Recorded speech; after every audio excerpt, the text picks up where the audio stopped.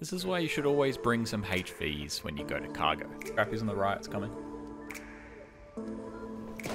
No! Go on, fan. I can't hit him. Killed so many. Had match up there. Headshot him.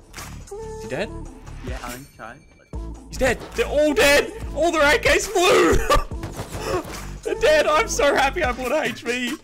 Full. Oh, they're all here. They're all here. Wow.